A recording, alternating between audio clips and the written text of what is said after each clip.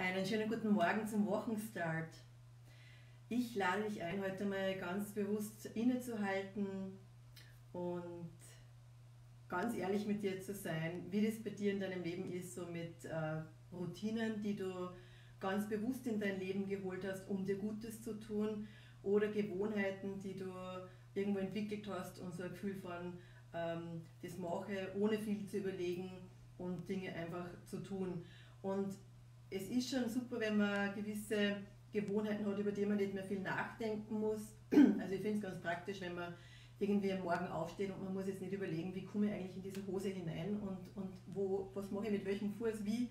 Also das ist, ist schon super, vor allem weil es in der Früh irgendwie auch darum geht, dass man aus einem Zustand, man ist ganz müde und verschlafen, eigentlich auch schnell wieder in die Gänge kommen möchte, um eben Dinge zu erledigen. Und heute in der Früh sagt meine Tochter zu mir, warum kann die Schule nicht eigentlich um neun beginnen? Und dann habe ich gemerkt, so ja, das stimmt, das war halt echt irgendwie, war halt irgendwie echt gut. Und dann sagt sie noch, aber wie, wie, warum, warum kannst du bitte, wie geht es, dass du um fünf aufstehst? Das verstehe ich nicht.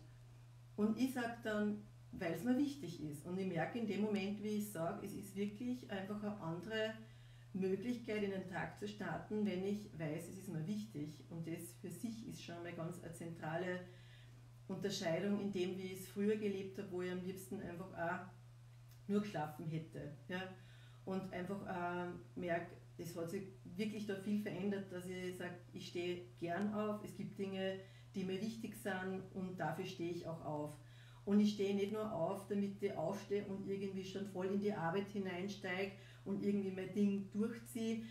Das mache ich nicht mehr und das habe ich schon gemacht. Also ich habe Zeiten gehabt, da bin ich aufgestanden und das erste war irgendwie meine Gymnastikübungen zu machen und die habe ich einfach gemacht und durchgezogen, weil ich wollte, dass mein Körper irgendwie fit ist und dass ich da in Schwung komme.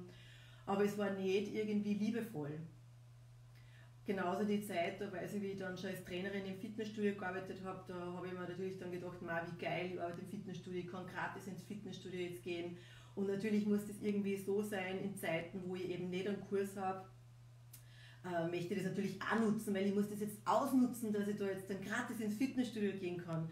Und bin wirklich in der Früh, habe ich meine vorgepackte Tasche genommen und bin um 6 Uhr schon zum Fitnessstudio, damit ich quasi an der Tür eine der ersten bin, die reingehen und dann schon ihr Ding runterzieht und dann irgendwie in der Dusche das Gefühl so, ah, ich habe halt echt schon was gemacht und ähm, da war schon auch dieses, ich habe schon was für mich gemacht. Und das, ich sage nicht, dass das jetzt nicht, ähm, dass das keine Möglichkeit ist. Und ich denke, das wäre vielleicht auch, wenn ich das damals schon so in mir gehabt hätte, was ich jetzt in mir trage, würde es ganz anders ausschauen. Da wäre es mehr dieses in Bewusstheit dort hinzufahren und in Kontakt mit mir, mit all dem, was mir ausmacht, zu sein, wenn ich das mache. Und das ist etwas, was ich einfach auch einlade, die mal zu hinterfragen, bist du der Typ, der gelernt hat, einfach Dinge durchzuziehen und einfach dann tut und ein Stück weit so eine, eine Kampesenergie und so ein, wow, und das mache ich jetzt. Und vielleicht ist es an der Zeit, da in eine andere Qualität zu finden, weil das Thema ist, wenn man, wenn man sich dafür kämpft, dass man Dinge tut, dann hat es nämlich einen Teil mit dabei, nämlich das, dass wir auch in das kippen und das kenne ich wirklich. Da war ich böse auf mich, wenn ich es nicht gemacht habe. Da war ich wirklich böse auf mich.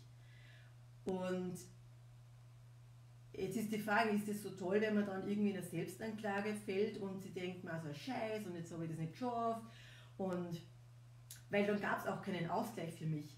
Das hat mir nicht gereicht, weil es dann nicht irgendwie, es hat mir nicht gereicht, dass ich sage, ja, aber ich habe am Abend eh ein Training oder äh, dafür mache ich morgen irgendwie zwei Stunden am Crosstrainer oder also das, das hat mir nicht gereicht.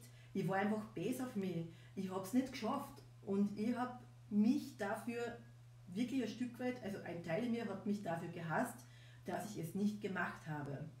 Und es ist einfach eine andere Qualität, eben ob ich jetzt im Kampf irgendwie meine Dinge durchziehe und ich sage, ich habe in meinem Leben wirklich echt was geschafft dadurch auch, um dann irgendwo in eine Schöpfung zu kommen und zu merken, Alter, das geht sich irgendwie alles nicht mehr aus.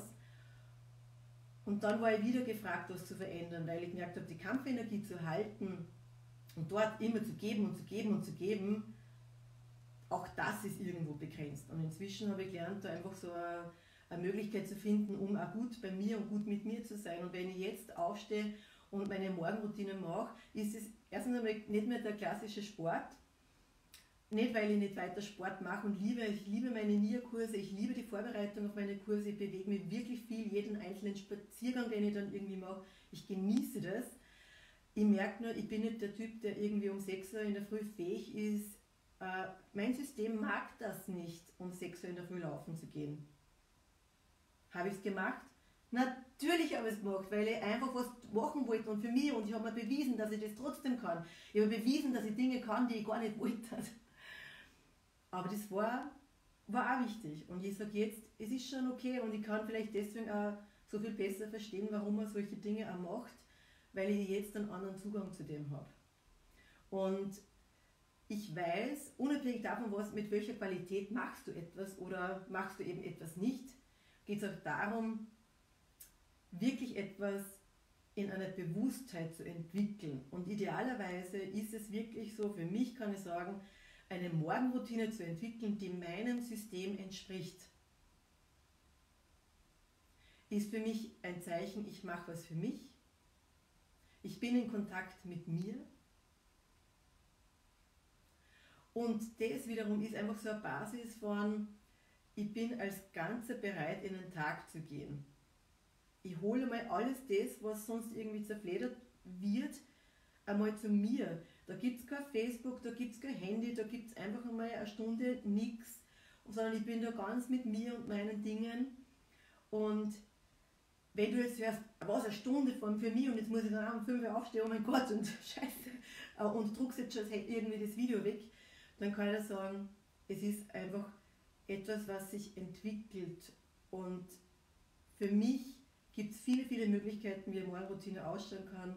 Und ich habe viele, viele Sachen ausprobiert.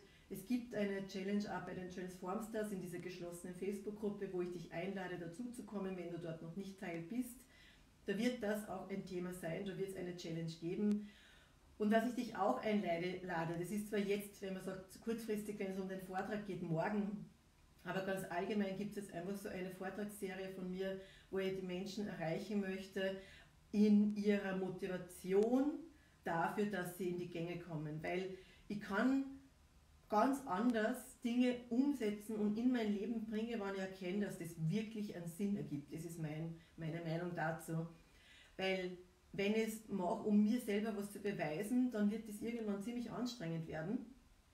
Aber wenn ich es mache, weil ich weiß, ich tue mir damit auch was Gutes, meinem ganzen System, meinem Körper, meiner Gefühlswelt, äh, meinem Denken, meinem System, meinem Körper-Geist-Seele-System, dann ist das ganz eine andere Möglichkeit.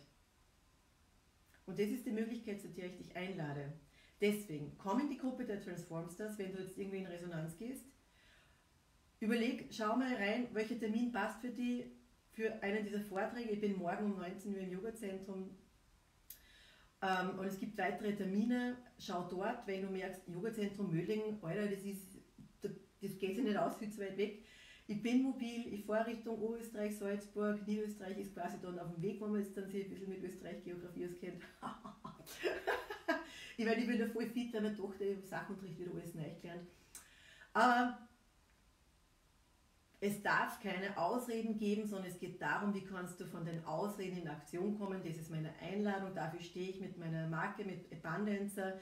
Das ist das, was ich gelernt habe zu leben und da, wo ich jetzt in einer ganz eigenen Kraft da bin, nicht nur für mich, sondern auch für dich. In dem Sinn, eine kraftvolle, gesunde, gute Woche. Und ich frage mich, wann ich ein Blindenwert. Seht ihr diese Kreise da? Das ist nämlich dieses Ringlicht. Und das ist zwar einerseits voll geil, weil es eine super Qualität macht, aber wenn ich da herkomme und dann so, wo dieser Knopf und beenden, merke ich so, oh, aber ich finde nämlich jetzt.